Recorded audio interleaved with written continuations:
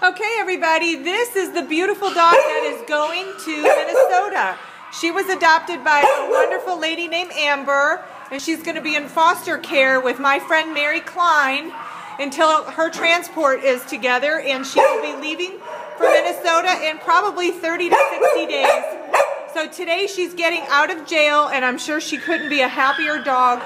She's been here way too long, poor little thing. We need to get her bathed and into a home setting where she belongs.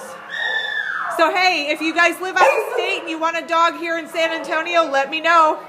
We've got plenty of them up here we'd be happy to transport. This is one of the lucky ones here.